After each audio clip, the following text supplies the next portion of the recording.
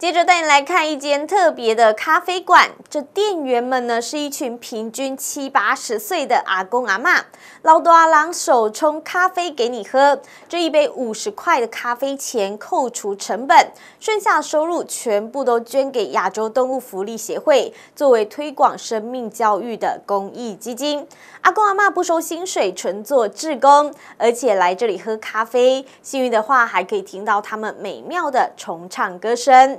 这一群快乐的咖啡职工，希望透过他们的力量，鼓励更多的银发族敞开心房，跟他们一样欢欢喜喜的度过退休人生。下午两点，换上工作围裙，店员们准备开工。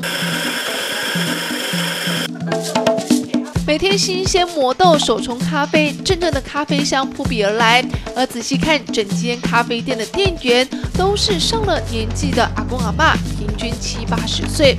而最高龄的是他九十八岁的林九茂，人称茂伯。我是沙猫咖啡的代言人老顽童，赞！在家里每个人年纪大的人非常的苦闷，苦闷嘛寿命就缩短。今天来大家来见见面，谈谈天。喝咖啡要聊是非，就不是很好的。就在这里每天哦，在在这里说说笑笑。哦，像刚才我们的老安同会讲，我以前的是不大讲话的，也是不是？哦，经过他们我们几位哈，常常聊聊聊聊，就好像说这个心情就不一样了。咖啡好了啊，请坐过去。这是我们的沙猫咖啡。这间咖啡馆不以盈利为目的，店员工作服务不收薪水。一杯五十元的咖啡扣除成本，剩下的收入全部捐给亚洲动物福利协会，要作为推广生命教育的公益基金。而这间特别的咖啡店，其实是店长陈志勇的儿子，双让父亲与社区长辈来增加互动，因而成立，也成功感染四面八方的引发长辈加入，职工群越来越庞大。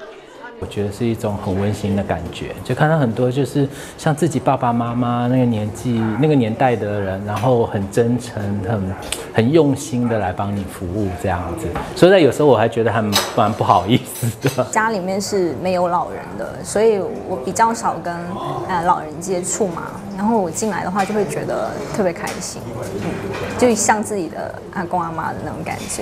春天啊，很快乐啊！我就是觉得我们个人呢都是很快乐的。我们这里是盖格性的。这里的店员们有着豁达的人生观，人老心不老，更为咖啡馆注入满满的欢乐。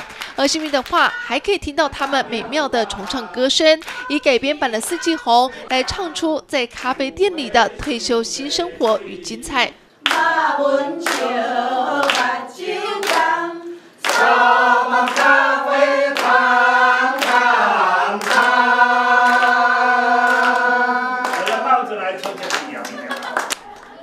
准电话，台中采访到。